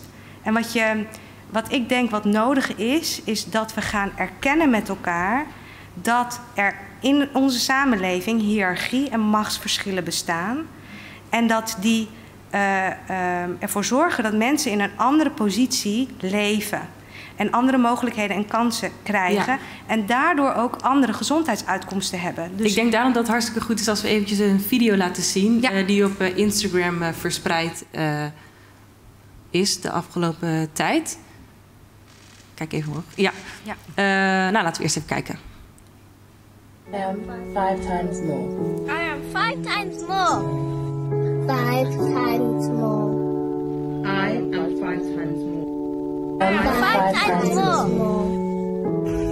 As a black woman in the UK, I am five times more likely to die during pregnancy and childbirth in comparison to a white woman. We know the statistics, but we do not know why this is happening. And this is why we need your help. What can you do? Sign the petition. Take part in the five times more selfie. Share the information and help to increase awareness by continuing to have these discussions. We cannot do this alone. We need your help. If nothing gets done now, will my daughter be 10 times more likely to die during pregnancy or childbirth? Ja, dit is fantastisch. Ook niet. Dit vind ik wel fantastisch. Dat dit, dat dit gedaan wordt. Ja. ja. Want wat je hier ziet gebeuren is dat eh, moeders het hef in eigen handen nemen. En zeggen, kijk, wij, wij willen dat er onderzoek wordt gedaan naar waarom wij eh, eh, minder goede zorg krijgen. Mhm. En dan komt de vraag, wie stelt de onderzoeksagenda bijvoorbeeld op? Nou, Maar, even, ehm, mag. Krijgen ze minder goede zorg? Dat is nog maar de vraag. Da- dus daar wil ik wat over vertellen. Ehm, eh, wat je ziet in de zwarte populatie in Amerika en Engeland is daar heel veel onderzoek naar gedaan. In Nederland ook wel, maar wat minder. Is dat de sterfte onder moeders en kinderen eh, bij zwarte vrouwen eh, hoger ligt. Drie tot vijf keer hoger dan onder witte vrouwen. En als je het hebt over intersectioneel kijken, dan, dan als je opleiding meeneemt, dan is, heeft een zwarte hoogopgeleide vrouw nog steeds een hogere kans om dood te gaan dan een witte laagopgeleide vrouw. Dus daarmee kun je zeggen, dit heeft te maken met discriminatie op basis van eh, eh, huidskleur of etniciteit of ras of hoe je het wil noemen. Racisme. Ehm, en in Nederland. Maar waar zit die discriminatie dan eh, in? Want ik bedoel, als, je, ik zou, als ik eventjes een beetje, een beetje dommig ga denken, dan denk ik van ja, ik, als je iets met je hart hebt, eh, dan, dan weet je dat Ja. misschien niet. Maar als je zwanger bent, dan, dan ben je op een gegeven moment Ja. zwanger. En dan kom je in dat eh, systeem, zorgsysteem sowieso terecht. Ja. Nou, waar zit die discriminatie? Die zit op verschillende plekken. Eigenlijk is dat vergelijkbaar met hoe in onze samenleving mensen hebben minder toegang tot zorg. Ehm, mensen worden niet serieus genomen. Er is taalbarrière, eh, culturele barrières, waardoor minder, mensen minder snel eh, naar een zorgverlener gaan, omdat er wantrouwen is. We weten bijvoorbeeld ook uit onderzoek dat als zwarte vrouwen zorg krijgen van zwarte verloskundigen of artsen, ze minder kans hebben om dood te gaan. Kijk, en laten we heel duidelijk hoor, de kans om te sterven tijdens de zwangerschap of eh, dat je baby overlijdt is ontzettend laag. Wat hier interessant is, is de verschillen tussen groepen. En eh, waar komt dat nou door? En het onderzoek wat zich er nu op richt is kijken van, oh, eh, in zwarte lichamen en witte lichamen, waar zit het risico? Dus welke mensen moeten we meer pilletjes of meer apparaten geven? Terwijl je veel meer moet kijken naar welke sociale factoren zorgen ervoor, welke systemische politieke factoren zorgen ervoor dat die vrouwen zo'n uitgangspositie hebben of die positie hebben. En en ik denk dat daar veel meer aandacht voor mag zijn. Ja. Ja. En dat, dat eh, mist in het huidige perspectief. En eh, wat hebben we nodig om ervoor te zorgen dat, het wel, dat er wel meer aandacht voor komt? wat hebben we daarvoor nodig? Daar hebben we divers en inclusief wetenschap voor nodig. en daar hebben we uh, onderzoekers voor nodig die uh, met een diverse en, uh, achtergrond. Daar hebben we hoogleraren voor nodig met een diverse achtergrond. Als ik kijk naar mijn vakgebied, mm -hmm. dan ehm, hebben wij de eerste hoogleraar verloskunde. Is dit jaar Ank de Jonge. Terwijl 170 jaar geleden al de eerste hoogleraar verloskundige gynaecologie werd aangesteld. Dat heeft te maken met uh, uh, gender. Hè? vrouwen zijn structureel uitgesloten uit de universiteit. Um, binnen mijn vakgebied hebben we 43 gepromoveerde verloskundigen. Dat, is, dat staat gewoon ontzettend in zijn kinderschoenen. Waarvan er geen één met een niet-westerse migratieachtergrond. Mm. Um, dus daar moet iets aan gebeuren. En dit is niet alleen in de verloskunde zo. Dit is uh, in de hele wetenschap zo. In de hele geboorte of in de zorg zo. Um, ik heb jou ook een, uh, wat cijfers laten zien van de VU. Ja. Uh, de rector van de VU die heeft laten zien um, dat ook diversiteit bij de VU ontzettend ontbreekt. En dat ze daar wat aan willen doen. En twee jaar geleden is er ook een motie geweest vanuit Denk voor meer hoogleraren van kleur. Want er is veel aandacht voor gender onder hoogleraren. Je ziet dat ook stijgen. Er ontstaan ook quota's en dergelijke. Maar voor kleur is daar veel minder aandacht voor. Die motie is weggestemd. Um, dus het heeft gewoon uh, weinig aandacht, kleur, in de wetenschap. Um, en weinig prioriteit. En mevrouw Verwij, denkt u dat het meer prioriteit moet worden? Denkt u dat u iets kan toevoegen als uh, zwarte vrouw? Ja. Of denkt u dat het eigenlijk... Nou, kijk, ik denk natuurlijk als je naar de Nederlandse samenleving kijkt... is meer dan 50% is gekleurd. Ja, zeker in de grote steden. En voor de derde generatie is dat al 70% En je moet natuurlijk uh, je kunnen identificeren met iemand die op je lijkt. Dus dat is, dat is een heel belangrijk gegeven.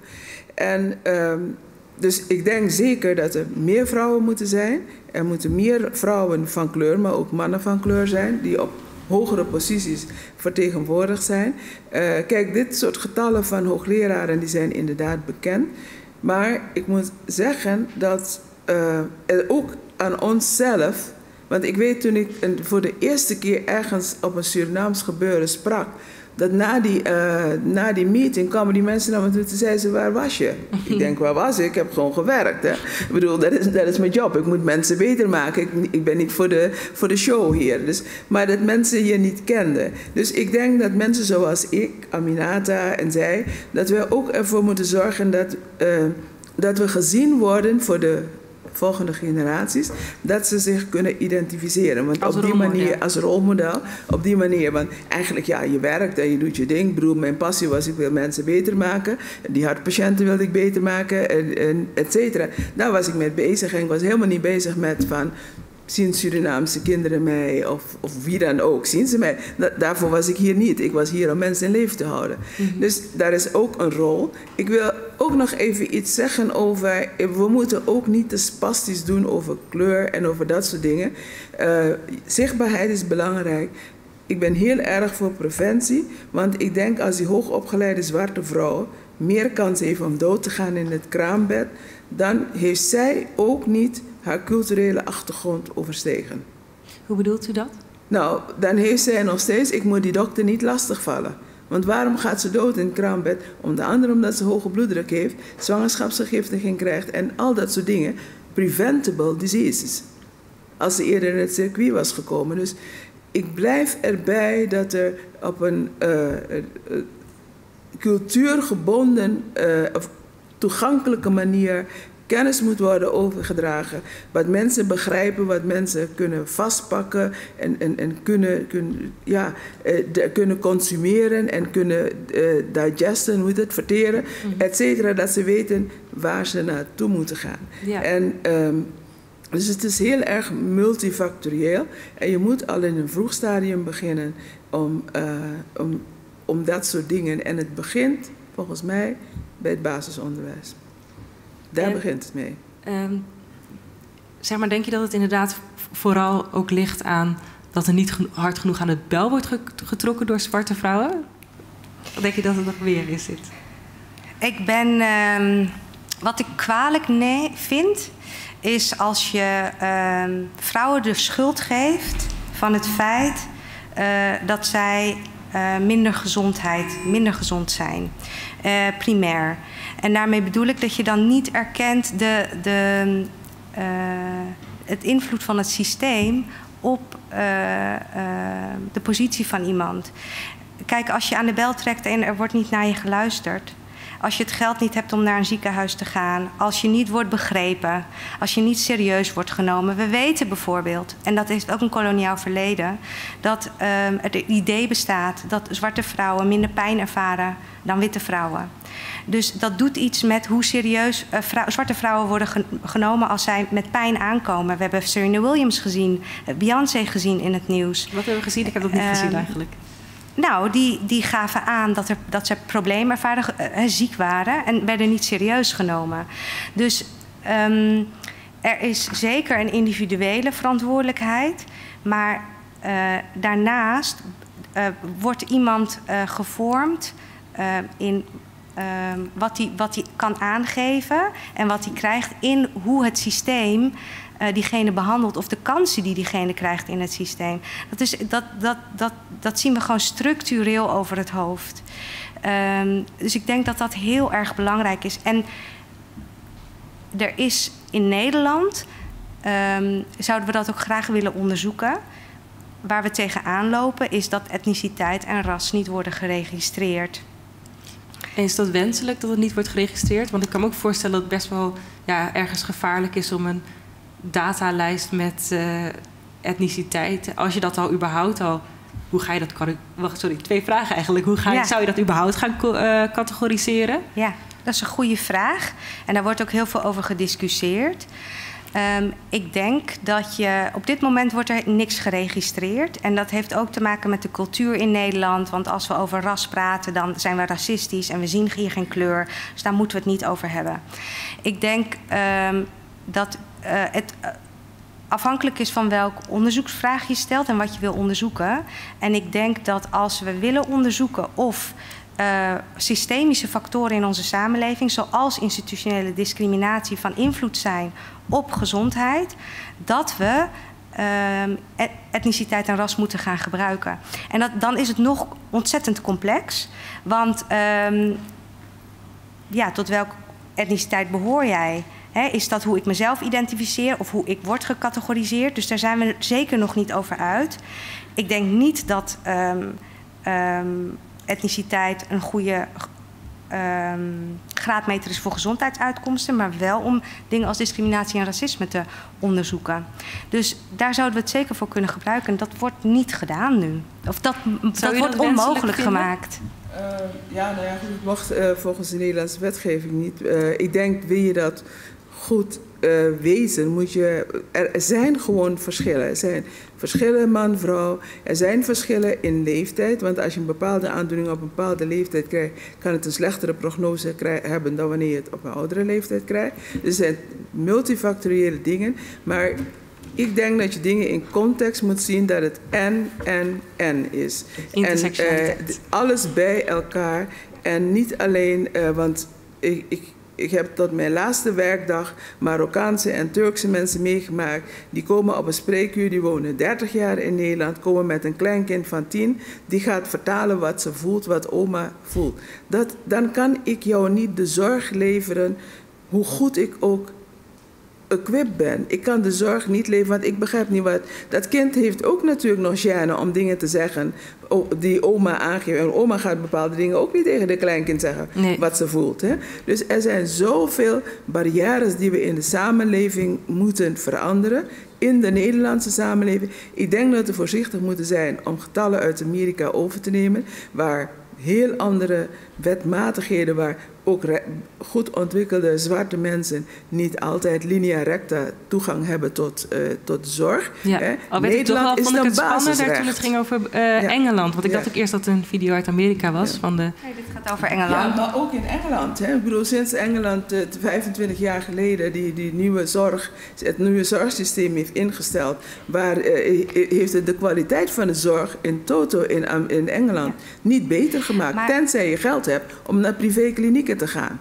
He, dus dus het, het, zijn zoveel factoren, geef alleen maar aan, het zijn zoveel factoren, cultureel bepaalde dingen, gender bepaalde dingen, religieus bepaalde dingen, uh, systeem bepaalde ja. zaken. Er zijn zoveel factoren. Het is niet zomaar, het is het een of het ander. Nee, maar discriminatie en racisme is niet een ver van mijn bedshow. Hè? Ik bedoel, uh, Black Lives Matter komt uit Amerika, maar speelt in Nederland ook. We hebben hier discriminatie en racisme. Ja, en ik heb, maar, maar wacht even. Je, maar, nee, nee, maar, maar, hoef je me niet te vertellen. Ik ben vaak genoeg, dat, omdat ik in een grote dikke Mercedes rijd, door de politie naar de zijkant gehaald. En er is het routinecontrole, mevrouw. Dus ik weet er alles nee, van. Ik, ik wil alleen even zeggen feit. dat de cijfers die, of het filmpje wat jullie zien en de cijfers die ik laat zien, zijn uit Amerika en Engeland. Maar in Nederland weten we uit onderzoek ook dat mensen met een niet-Nederlandse achtergrond slechtere zorguitkomsten hebben. Ook hier zijn die uitkomsten voor die mensen slechter. Dus het is niet alleen um, uh, in Amerika en in Engeland. En het gaat niet alleen over zwarte mensen. Het gaat eigenlijk over mensen van kleur in brede zin. Uh, Als ik daar iets op mag zeggen, kijk, uh, zwarte mensen hebben hoge bloeddruk. Wat slecht te behandelen is, omdat de pillen die we hebben, die zijn getest op witte mensen. Mm -hmm. En ze werken niet bij zwarte mensen. In Amerika begint nu mondjesmaat onderzoek te komen hoe behandel je zwarte mensen. Zo goed, want we hebben alleen maar last van de bijwerken van de medicijnen. We hoesten ons te barsten, we hebben dikke voeten, maar de bloeddruk zakt niet. En, uh, dus nu begint er onderzoek te komen naar hoe moet je die mensen behandelen? Wat is er genetisch los van hun kleur en dingen wat is er genetisch anders, waardoor, waarvoor je ze moet behandelen? Dus er komt zoveel. En wat, uh, wat Aminata al zei, het is een zware stoommachine die je langzaam, die al eeuwen zo vaart, die je langzaam gaat bewegen en gaat verschuiven. En we moeten gewoon bij de basis, de basis, de oorsprong niet uit het oog verliezen. Want anders beginnen we daar ergens iets te veranderen, terwijl het down there gewoon nog steeds fout is. En dan hebben we een nieuwe therapie voor mensen die met ernstige hoge bloeddruk komen. En het is al daar veel eerder fout gegaan. Bovendien krijg je een selectie. Want een van de dingen waarom zwarte mensen moeilijk behandelbare hoge bloeddruk hebben, is alleen mensen die een bepaalde genetische structuur hadden, die overleefden die slaventocht. Want ze konden hun vocht vasthouden.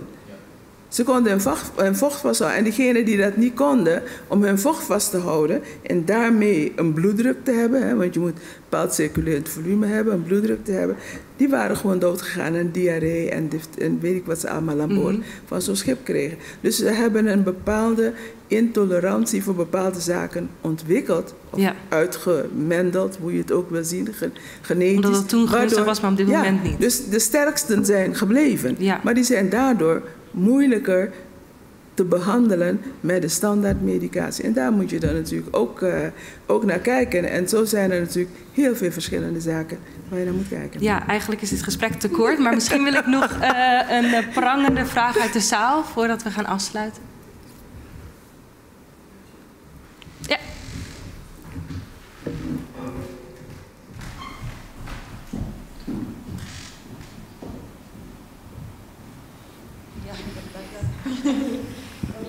Yes, hi, ik ben Sibelle, derdejaars verloskundestudent. Ik heb eigenlijk een vraag aan mevrouw Verwij. U gaf eigenlijk net een voorbeeld aan van wanneer uh, Turks-Marokkaanse oma's met hun kleinkinderen komen die dan moeten vertalen. Um, ik heb dat in de praktijk ook wel meegemaakt als verloskundestudent, waarin dus uh, kinderen vertalen voor hun moeders. Dat inderdaad, dat levert een gigantische communicatiebarrière op. Maar ik heb me altijd wel afgevraagd, waarom grijpen we niet naar de tolkentelefoon? Is het dan niet onze verantwoordelijkheid als zorgverleners om eigenlijk die barrière op te heffen wanneer er geen andere opties zijn om toch juist de zorg te blijven leveren? Is dat dan niet een maatstaaf voor slechtere zorg? Dat je, omdat je eigenlijk niet kan communiceren met mensen en we daar ook eigenlijk geen moeite in stoppen soms. Nou, kijk, je kunt een tolk, uh, die tolken die, die, die werden gebeld hè, uh, en dan had je zo'n tolktelefoon. Maar een deel van het probleem is natuurlijk ook de lichaamstaal en dat kan die tolk door de telefoon niet zien. En uh, dus het is en blijft toch werken met de dingen die je hebt om zo goed mogelijke zorg te leveren.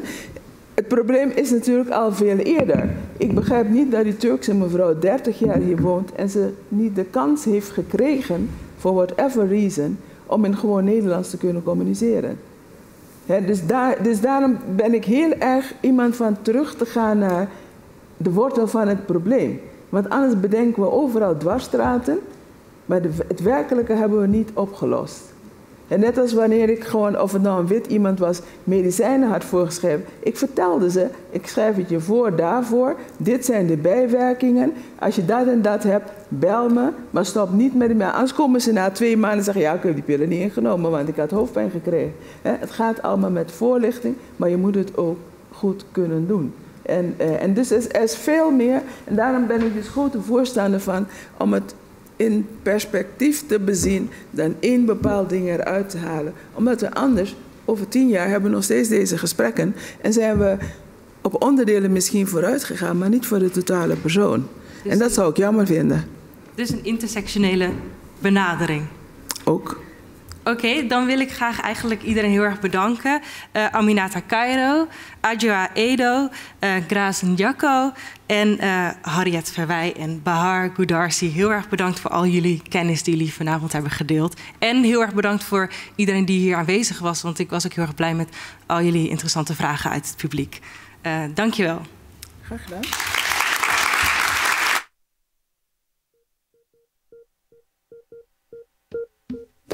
Dragon lady, you gon' hurt your back.